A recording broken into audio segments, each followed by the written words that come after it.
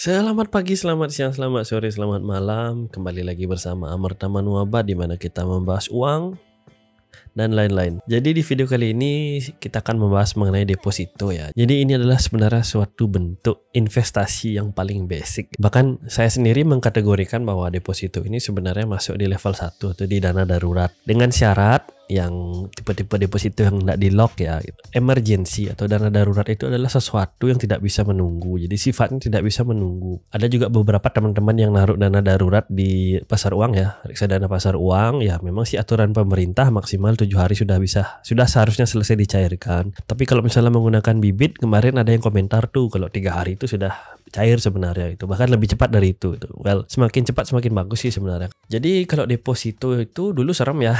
Dulu serem sih. Deposito itu sesuatu yang cukup rumit ya. Sebenarnya deposito itu riwah. Dulu itu orang-orang harus ke bank nanti ngantri di teller dan menyampaikan deposito berapa lama. Nanti dijelaskan kontrak deposito itu berapa bulan atau bahkan beberapa tahun gitu loh. Makanya nggak heran sih beberapa kasus penipuan ya. Itu kemarin kenanya karena mereka melakukan deposito tidak ke bank bapak dan ibu mereka melakukan deposito ke oknum jadi oknum petugas bank gitu. memang sih dari oknum-oknum itu ada beberapa yang pangkatnya ya sampai kepala cabangnya.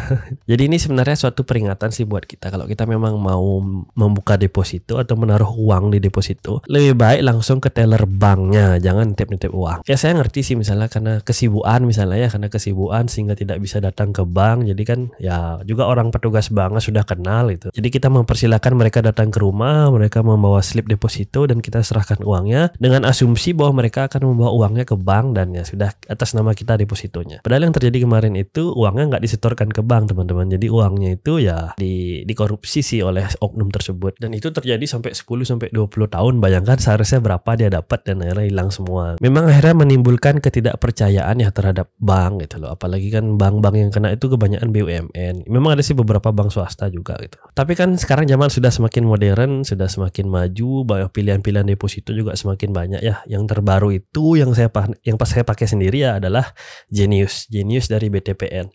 Sekali lagi saya tidak disponsori oleh pihak mana pun, tidak juga oleh pihak BTPN Genius. Pak, saya minta endorse. Jadi untuk membuka akun di BTPN Genius itu cukup simpel ya teman-teman. Teman-teman hanya perlu menginstal, download di aplikasi di App Store, di Play Store, hmm, Genius kemudian mendaftar akun baru. Ya awalnya cuma diminta KTP, identitas diri, segala macam dilengkapi.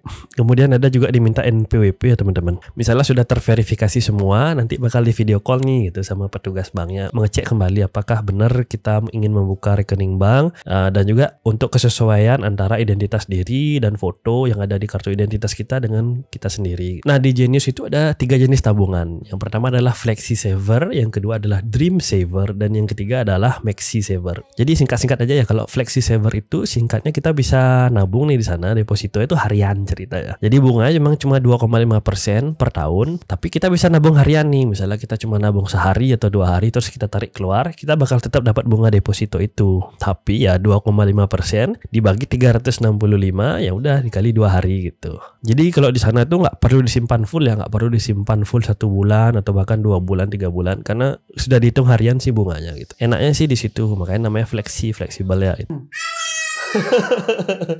tak bisa bobok ya? Sini nak eh biar ada untuk filler.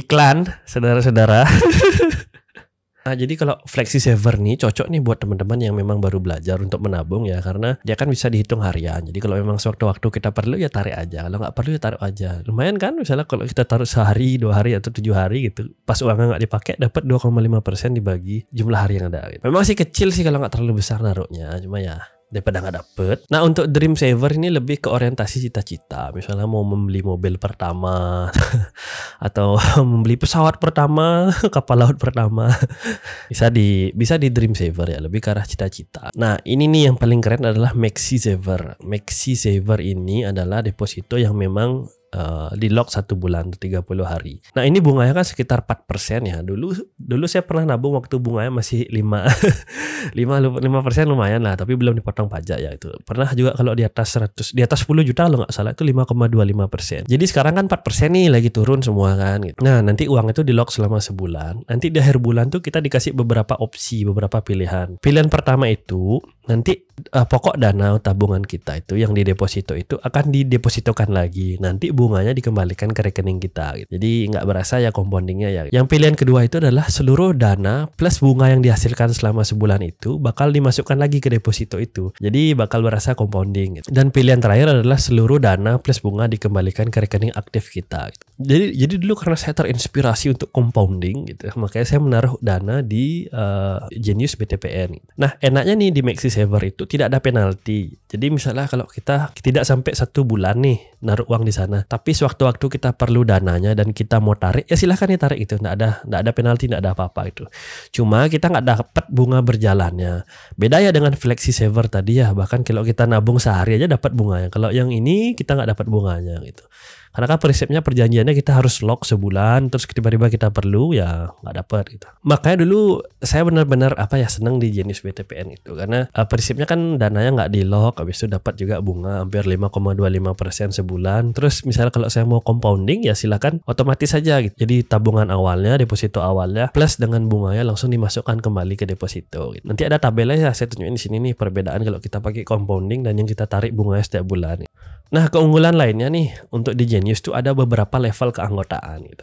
Jadi dengan level keanggotaan ini kita dapat award. Jadi misalnya kita bisa transfer antar bank tanpa kena biaya apa pun ya gitu misalnya. Kemarin kan kalau transfer antar bank tuh kita kena 6.500 ya teman-teman itu. Dan juga kita bisa tarik tunai di ATM di dalam negeri itu bebas biaya. Jadi kita bisa narik dari ATM memang yang beda bank dari BTPN gitu. Misalnya kita, kita narik nih di ATM BNI atau Mandiri nggak kena biaya. Gitu. Cuma ada level-levelnya ya. Jadi kalau yang basic itu saldo rata-rata di bawah satu juta. Jadi untuk hitung saldo rata-rata itu adalah menjumlahkan saldo harian dalam satu bulan dan membaginya deng dengan jumlah hari. Kalau yang basic ini kita nggak dapat uh, fasilitas apa pun maaf bapak ibu.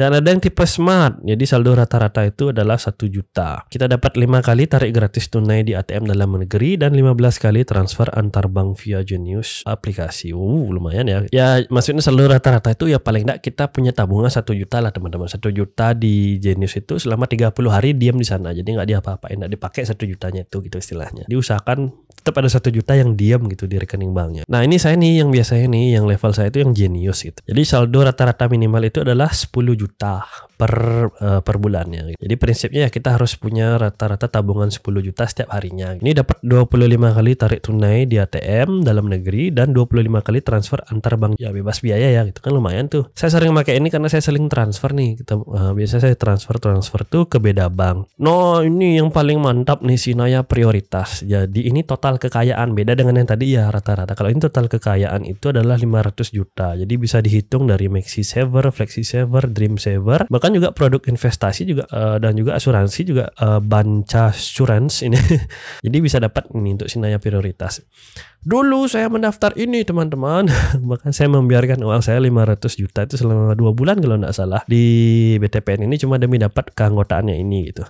Tapi jeleknya waktu saya apply nih gitu ternyata diminta untuk datang ke kantor. Padahal kan itu lagi pandemi dan saya lagi di luar negeri jadi ya saya tarik semua uangnya. Dasar kau jenis BPTPN jadi waktu itu saya diminta untuk menghadap langsung ke kantor cabang. Mungkin mau diwawancara ya biar tahu siapa dan pekerjaannya apa biar nggak money laundry gitu. Mungkin ya niatnya baik gitu. kalau misalnya di seperti di BNI ini kalau saya kan di BNI itu kebetulan juga uh, nasabah prioritas juga itu. Kalau di sana itu nggak perlu mendaftar apa-apa gitu. Jadi kita otomatis punya tabungan 500 juta misalnya mengendap selama sebulan, ya kita langsung dapat fasilitas-fasilitas tertentu gitu. Enaknya apa ya? Pertama kan kalau kita perlu bantuan kalau ada customer service atau ya, ya misalnya ada error di kartunya, kita nggak perlu antre gitu. Karena pintu ruangan untuk yang prioritas kan beda gitu di samping biasanya itu naik ke lantai dua itu. Wah. Ya tapi ya syaratnya itu tadi kita harus membiarkan 500 juta di sana. Ya mungkin untuk beberapa orang ya oke okay lah, tapi kalau misalnya masih di level-level kita yang masih masih apa berusaha mencari uang itu 500 juta mengendap itu kan sesuatu yang susah ya gitu.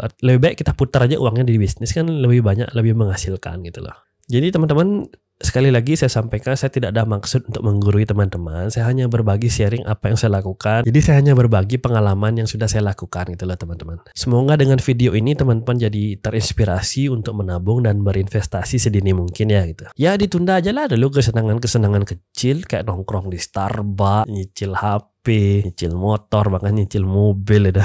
Lebih baik uangnya disimpan dulu, ditabung dan pada saatnya sudah siap nanti baru kita belanja. Dan pada saat kita siap nanti kesenangan kan akan datang dengan sendirinya tanpa ada perasaan bersalah untuk menyicil setiap bulan. Wow, semua indah pada waktunya. Oh iya, hampir lupa giveaway season 2 dibuka setelah video ini diupload ya teman-teman. Jadi ada hadiah gift card nih buat membuka tabungan di Bibit. Wah, bentuk kepedulian saya nih biar semua mulai menabung, semua mulai berinvestasi. Jadi kan minggu lalu kita sudah bagikan 25 gift card senilai 100 ribu masing-masing ya. Jadi sekarang kita bagikan senilai 200 ribu masing-masing. Yang belum dapat kemarin silahkan ikut sekarang. Yang sudah dapat kemarin nggak usah takut gitu. Pakai aja akun adik, kakak atau anak atau orang tuanya. Uh, lihat di video yang kemarin ya caranya untuk ikut acara ini. Dan doa saya agar semua sehat selalu dan semua hidup berkecukupan. Bye bye.